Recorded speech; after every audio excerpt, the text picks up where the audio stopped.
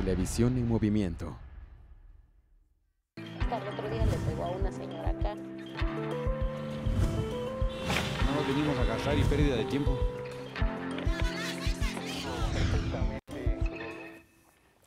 Auditorio, les saludo con gusto en este inicio de semana 16 de octubre. Regresa la normalidad a Oaxaca y ¿qué es hablar de la normalidad? Bueno, pues hablar de bloqueos y plantones. Eh, va a viajar hacia Etla o un poquito más, más lejos. Bueno, tome precauciones porque hay complicaciones en la carretera federal 190. Se acaba de instalar el bloqueo por parte de los maestros de la sección 22 a la altura de Hacienda Blanca. Más adelante, ya en la jurisdicción de Etla, están protestando eh, vecinos de la coordinadora vecinal de la ex hacienda de Sautla. Eh, ya más adelante le voy a explicar cuál es el motivo de esta, de esta protesta que involucra a algunos funcionarios eh, estatales. Y bueno, ya llegando a la caseta de San Pablo Huitzo, para variar, los estudiantes normalistas están apostados ahí desde muy temprano. La Avenida Independencia también está presentando complicaciones desde una parte importante del centro hasta donde termina. Ya le voy a dar datos más adelante de cómo están las vialidades en Oaxaca para que usted tome sus precauciones si es que tiene que salir. Fíjese, auditorio, que ayer domingo eh, hay organizaciones dedicadas a, auxiliar a niños con cáncer, niños con leucemia sobre todo, eh, convocaron a una movilización, a una reunión en la explanada de, de Santo Domingo. Eh, me pareció algo realmente muy, muy digno de, resaltar esto que están haciendo estas organizaciones sociales, porque a través de la, concentración de, gente, a través de la difusión de información, a través de la oración, pues tratan de conseguir bienestar para estos niños que están enfermos de cáncer. Le voy a presentar a lo largo del programa todo lo que nos encontramos ahí en la explanada de Santo Domingo. Vale la pena poner mucha atención, auditorio, porque aunque usted no lo crea, hay niños, la mayoría de ellos de escasos recursos económicos, que tienen en este momento un adeudo muy grande con el Hospital de la Niñez y no es un adeudo económico, amén de esta necesidad de dinero que tienen sus familias, es un adeudo de sangre que tienen. Hay niños que tienen adeudos de 60 y hasta 90 donadores. Esto es realmente increíble. Usted va a conocer estas historias en el transcurso de este programa. Por lo pronto quiero iniciar esta transmisión recordándole que estamos en la señal 071 de Easy y que también nos puede ver a través de internet. Y si le interesa ponerse en contacto con nosotros, hágalo. La línea directa 205 6300 mensajes de texto 951 172 57 97. Las redes sociales también están a su disposición. Vamos a ver qué es lo que nos encontramos ahí en la explanada de Santo Domingo. ¿Sabe a quién encontramos? A una gran amiga de Espacio Ciudadano, esta pequeñita, esta gran guerrera, la pequeña Dana. Vamos a ver.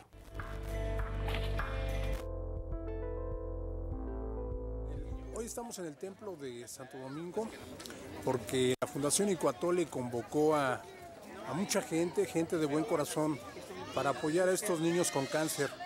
Y no van a creer, aquí nos encontramos a una, una amiga de Espacio Ciudadano, una pequeña guerrera, la pequeña Dana, que hace algunos meses tuvimos el honor de tenerla como invitada para conocer de su, de su caso muy, muy en particular.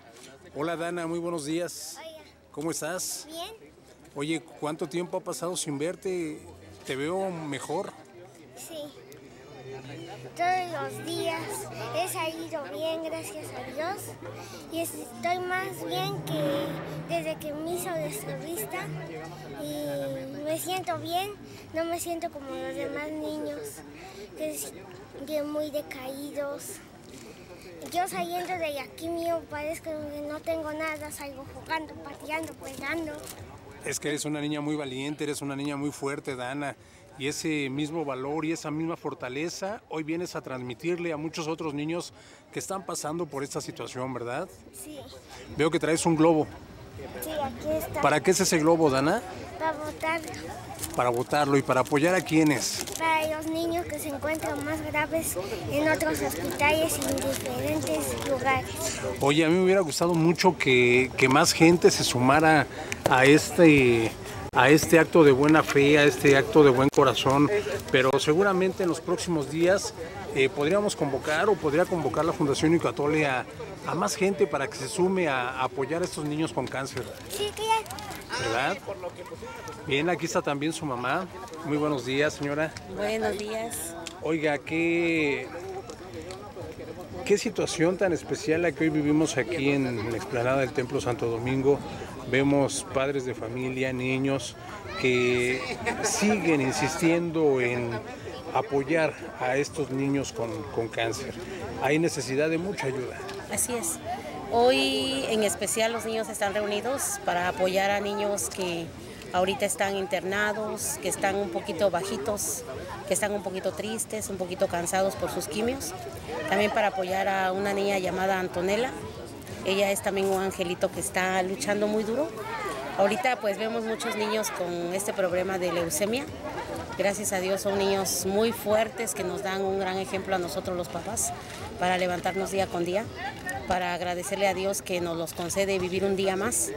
Y es, este evento que se va a hacer es para apoyar a estos niños, para darles desde aquí mucho ánimo, mucha fuerza transmitirles mucho amor y que ellos tengan mucha fuerza para salir adelante. Igualmente a sus papás, que Diosito les dé esa fuerza para luchar día a día porque tenemos que sacar a nuestros guerreros adelante. Oiga, qué bueno sería que mucha gente pudiera sumarse a, este, a esta buena intención. Así es, de verdad, yo les pido que hace como unos meses que estuvimos en la entrevista, que abran su corazón, que volteen a ver hacia el hospital del niño, hacia otros hospitales donde hay muchos niños con este problema, que abran su corazón. Hay muchas formas de ayudar a nuestros niños, a los papás también. Hay papás que vienen de muy lejos que a veces solamente traen dinero para medicamentos, no para comer. Hay muchas formas de ayudar. Y a toda, la, toda persona que hoy en este día nos vea, yo quiero pedirles que abran su corazón, que vean hacia el hospital, que vean hacia muchos niños con este problema de leucemia y a través de la oración, a través de una pequeña ayuda, a través de una visita al hospital, de verdad es una cosa muy grata para nosotros los papás, que a veces estamos tristemente con este problema de nuestros hijos y a la vez fuertes para sacarlos adelante. Muchísimas gracias. Usted es la mamá de Dana, ¿es De la Dana, señora? Margarita. Margarita. Oiga, ¿y Dana cómo va? ¿Ya regresó a la escuela, Dana? Sí, ya he ido. Cuando tengo quimio no voy, pero ya los otros días de descanso voy toda la semana. Vas toda la semana, Dana, pues échale muchas ganas. Sí. Felicidades. Gracias.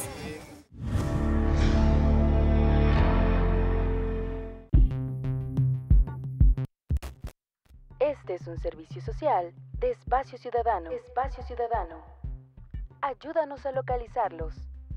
Cualquier información que conduzca al paradero de estas personas, puedes proporcionarlo al número telefónico del Departamento de No Localizados de la Fiscalía de Justicia de Oaxaca. 01800 0077 628.